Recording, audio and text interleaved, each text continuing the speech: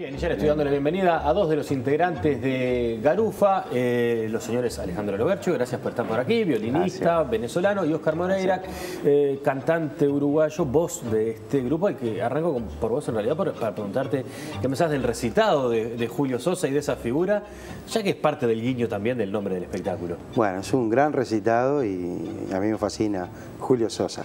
Este, no, tiene, tiene, tiene todo que ver con, con lo que nosotros hacemos, eh, pero nosotros este, buscamos un poquito este, la ironía y el humor también, ¿no? Eh, dice una crítica que les hicieron en un periódico alemán. ¿Es posible, se pregunta el, el autor, ¿es posible presentar esta música fuerte, melancólica, los textos tristes y taciturnos que hablan de soledad, desesperación, amor y nostalgia como parodia cómica? Totalmente. ¿Y claro. cómo? ¿Qué piensan ustedes? ¿Qué pensás vos, Alejandro? Bueno, yo me enteré eh, tocando con ellos que el tango no solo era drama y melancolía y dolor, y, sino que había tangos muy divertidos también, letras muy divertidas y, y, y- nada, y siempre un poco reírse de la amargura es, es- es un- es la mejor terapia, ¿no? También. Oscar, como uno se siente un poco irreverente, es parte de la gracia también hacer esa irreverencia, algo que mm, muchos crecimos en ambientes donde el tango era una cuestión como sagrada, ¿no? De nuestros mayores, eh, esa cuestión es muy rioplatense tal vez ese sentimiento, Eh, pero bueno, eh, esa cuestión de, de reírse un poco de, este, o junto con en realidad, porque no es una burla tampoco, Sí, ¿no? sí, es, es junto con. Y uno siente esa irreverencia como parte de lo que motiva el espectáculo. Totalmente, totalmente, porque uno va a ver un contraste este, de, lo que, de lo que ya conoce, porque el tango es macho, porque desde pibe me acunaba en tango la canción materna para llamar el sueño. ¿no? Ese, ese Julio Sosa, sí. este, que de repente ese personaje se puede encontrar en, en el presente y cómo es la interacción con el mundo actual ¿no? y, con, y con la sociedad actual. Entonces se, se genera un contraste y este, tremendo que, que genera situaciones muy, muy cómicas. ¿no? Ya vamos a hablar de cómo se conocieron, pero cuando descubriste este grupo de uruguayos en Viena y, empiezas a hablar de todo esto, ¿tenías un conocimiento profundo del tango? Eh, Mira, o no, ¿Te tuviste que ir No. acercando a esa sensibilidad? Sí, bueno, yo, yo se lo dije ayer a alguien, no me acuerdo, eh, son idiomas, ¿no? La música también son idiomas y, y la- el idioma de cada sitio es, eh, se aprende, ¿no? O sea, el, el- el acento, todo- todas las costumbres. Y, y es eso, ¿no? O sea, cuando eres músico, obviamente que entiendes de qué se trata, pero entrar y entender realmente hay que, hay que ponerse, sí. Y tuve la dicha de estar con tres, eh, Con- con tres buenos docentes, tremendos digamos. músicos que, que, claro, que, que te empapas muy, muy fácil, ¿no? De- Vamos a llegar a cómo se, se conocieron los cuatro integrantes de Garufa, este señor venezolano y los tres uruguayos representados ahora por, por Oscar. Tu idea había sido formarte como músico en Venezuela, después este, tuviste una beca, si no estoy mal, en Colombia, de allí Sí. Portugal y de allí Viena. Eh, eso es como que uno, pre- preparaste tu carrera para hacer ese recorrido. Bueno, siempre quise estudiar en, en un sitio donde la gente su- sí supiera un poco qué es un violín, ¿no? Eh, por decirlo muy, muy rápido, ¿no? Y, y siempre, bueno, siempre soñé cuando uno está de niño y escucha las grabaciones de las grandes orquestas y eh, Filarmónica de Viena, Berlín, París, todo esto, ¿no? Y cuando, cuando llegué a Viena a hacer la audición en la universidad, con- a ver si me dejaban estudiar ahí, porque sí, son 1.500 personas que se presentan para Para 50 muy poco, plazas, claro. o 30 plazas. Y bueno, llegas ahí, ves esa ciudad llena de música, llena de historia, llena de por aquí pasó, por aquí vivió, por acá. Te- te- te- ya estando allí, ya dices, bueno, aquí me quedé, esto es lo mío. Oscar, lo tuyo tuvo más que ver con los sentimientos.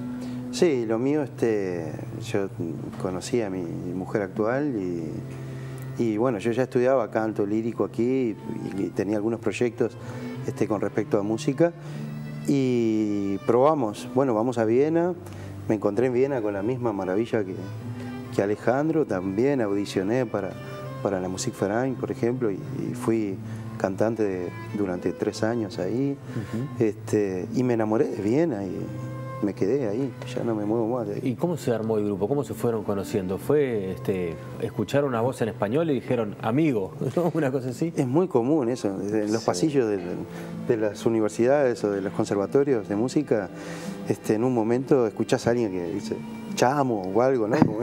y ahí dice, oye, este habla español. Este debe ser cerca de casa. Este es, este es de casa ya. Además con Felipe, por ejemplo, el contrabajista del, grupo, tocamos en orquestas juveniles y nos fuimos conociendo ahí más y con Nacho también, con el guitarrista, eh, estudiamos en, casi en el mismo pasillo. Eh el profesor de la acá, el mío allá, y te ves en la máquina de café, por lo mínimo, ¿no? Claro, pero también para pasar los ratos libres que, debe haber o cosas así, es más, fácil compartirlos con alguien que habla lo mismo que uno. Y cuando uno está tan lejos, eh, aunque las diferencias pueden ser grandes entre Venezuela y Uruguay o entre los países de Latinoamérica, pero cuando estás tan lejos, estás en una cultura muy diferente, Latinoamérica se vuelve pequeñito, o sea, es un... Es un el idioma, la cultura, incluso. ¿Cómo, construyen el espectáculo?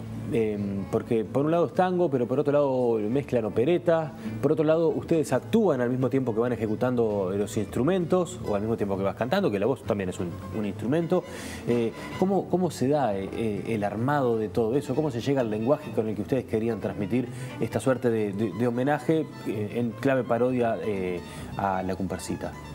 Bueno, los programas se van dando respecto a, las situaciones en que estamos en ese café o, tomando esa cervecita, charlando, y qué bueno estaría hacer tal o cual cosa.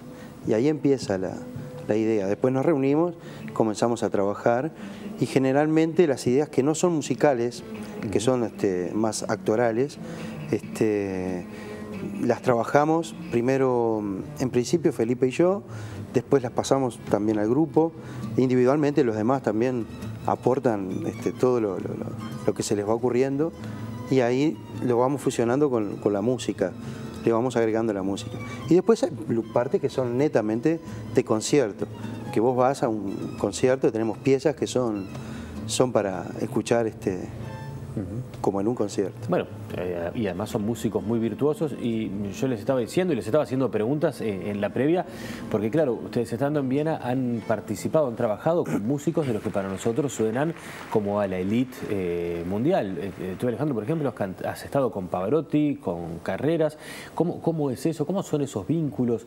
¿Qué, ¿Qué, se genera? Porque uno lo ve, en algún momento se vuelve natural decir, ah, mira, acá está eso, ¿no? Sí, bueno, Pavarotti tuve la dicha de en Venezuela, estando todavía en Venezuela, pues yo tocaba en este sistema de orquestas juveniles que se formó en, aquella época.